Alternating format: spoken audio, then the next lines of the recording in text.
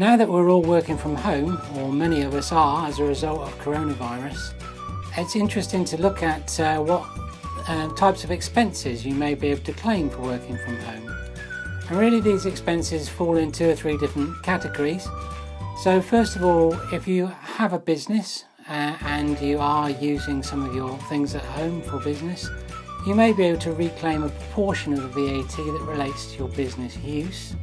This can also apply if you have to uh, extend your property or, or, do work to your property. If it's, if it's specifically going to be used for business purposes or for partially going to be used for business purposes, you may be able to reclaim some of the VAT. Another area that people will be able to claim for is if you're an employee, you can claim now, it's, it's, it's just recently increased this year to £6 per week without any further information required if you are working from home and it's because your employer has told you to work from home.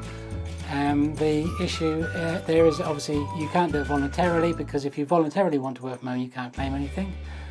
And if you are self-employed, you could use this simplified claiming process, which is based on the number of hours that you can you work at home, and you can claim an allowance based on that as being self-employed for working from home.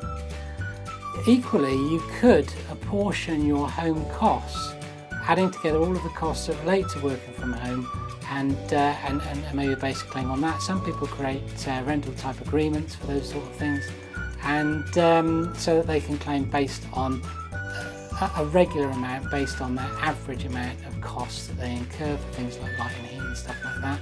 Have to be a little bit careful with phone because that should really be based on business calls that have been made.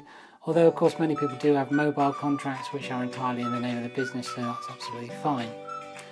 The third area is um, capital allowances. Obviously, if you if you bought equipment to use at home and it is your business, or even if it's even if you work for somebody else, they may be able to claim capital allowances for things that you have to use.